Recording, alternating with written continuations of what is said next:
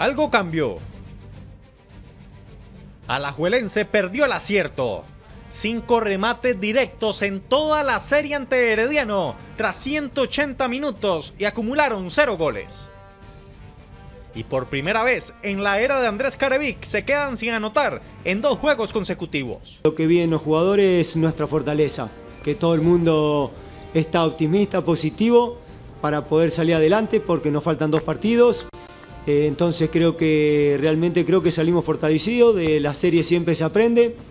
Entonces ya jugamos dos partidos, seguramente aprendimos detalles y seguramente tenemos que aplicarlo. En esta segunda ronda, Liga Deportiva Alajuelense solo marcó en tres de sus cuatro juegos disputados. Solo ante San Carlos pudieron celebrar y ahora buscarán hacerlo en el Rosabal Cordero. Bien, igual como esta complicada, pero bueno, vamos a ir a hacerlo nosotros.